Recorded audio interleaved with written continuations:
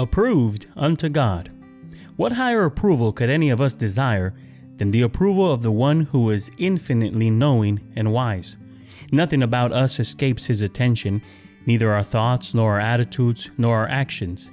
Therefore, to be divinely approved is a high honor indeed.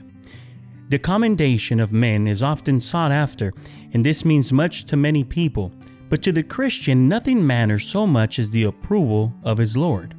To Timothy, Paul gave some specific counsel which is worthy of consideration for all who are desirous of divine approval. The Bible says in 2 Timothy 2:15, "Study to show thyself approved unto God, a workman that needeth not to be ashamed, rightly dividing the word of truth." Now, this young minister whom Paul was addressing will live on after his beloved mentor had passed away, and he would bear the responsibility of interpreting the Word of God to a host of people who would be searching for truth. To err in interpreting God's Word could be disastrous. Too much to so to forego diligent study so as to prevent such error. For Timothy to attempt the awesome task of rightly dividing the Word of God without adequate preparation would be foolish and something for which he would be accountable to God, and so it continues till this day. Mental laziness cannot be justified for those who carry the obligation of rightly dividing the word of truth. It would be easier to leave this responsibility to someone else, and some seem to prefer it that way. But the call of God makes demands of a person which cannot be shifted to another. To merit God's approval and blessing, a minister must apply his mind to diligent study. The names of Daniel, Shadrach, Meshach, and Abednego will stand out for all time upon the minds of Bible students. But the reason for their being in the right place at the right time may be easily overlooked. You see, a requirement which had been brought into the king's palace in their land of captivity was that they were skillful in all wisdom and cunning in knowledge and understanding science. Daniel 1 4. While yet in their native land of Judah, their diligence had prepared them for this moment they faced in Babylon. By no means were they the only Jews who were carried into Babylonian captivity but they were in possession of qualities demanded by the king, which thrust them into the limelight. To be skillful in all wisdom and cunning and knowledge and understanding science would indicate a considerable degree of mental application.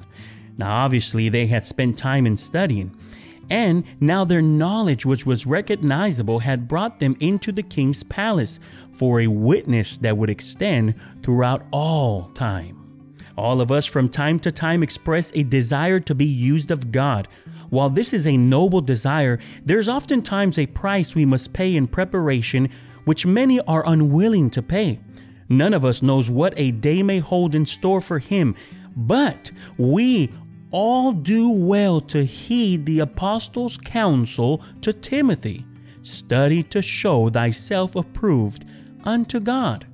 Now, many are familiar with the slogan, a mind is a terrible thing to waste. God has given us or given mankind the capacity, which we are told is seldom if we ever develop it to its full potential. In a sense, we may be failing the Lord when we fail to utilize the opportunities we have for filling our minds with useful and profitable knowledge. God does not force His will upon us, but in the exercise of our free wills, He does not approve of apathy or indifference or laziness. Now, studying is a work and it requires disciplining ourselves. And that at the same time, learning itself is a real joy. You see, this is especially true of that learning which we receive from the book of books. What I'm talking about is the treasures found and contained in the Holy Bible. Now, even though thousands of students have pored over its pages, something new seems to come to life every day to those who are studying to show themselves approved unto God. This will continue to uh, uh, make a desire in us to get closer to the scriptures. Bible study, my friend, is a course which we do not graduate from. Not only is the life of the digger into the word enriched, But those to whom the studying minister imparts the Word of God are edified as the result of his digging. Now, it is not hard for a congregation to detect the degree to which the one who fills the pulpit has applied himself in preparation. This is not to suggest a mere intellectual approach to Bible study. No. We're talking about searching the scriptures for spiritual insights. Now, this must be pursued through the inspiration of the Holy Ghost. He alone is the revelator of divine knowledge, and a communion with Him must be maintained for productive study. Many demands are made upon the minister's time, many of which are legitimate and necessary. He is a servant of the people, but most important, he is a servant of God, and it is to God that he is accountable. Since this is true, he must establish the priorities for his daily schedule. This apparent independence has been abused by some ministers who were lacking in dedication. His so called independence is certainly not apart from God's supervision and direction. But thank God for the vast number of dedicated ministers in the Church of God of the Bible. Those ministers who, more than ever, are searching the scriptures, interpreting the word, charting the course for people who are looking to their spiritual leaders for guidance. It is a sobering responsibility which they bear, but God knows what He is doing when He sets a man apart for the ministry of the Word of God. These leaders whom God has given us need our prayer, our support, and they deserve our respect. To the church, Thessalonian, Paul wrote, And we beseech you, brethren, to know them which labor among you and are over you in the Lord, and admonish you, and to esteem them very highly in love for their work's sake, and be at peace among yourselves. That's found in that first letter in chapter 5, verse 12 and 13. Ministers, members, and all those that desire to study the Word of God.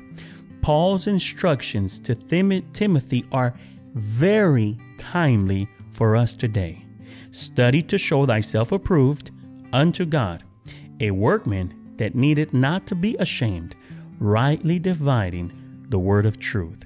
That is what it means to be approved unto God. I pray this small message was a blessing to your life.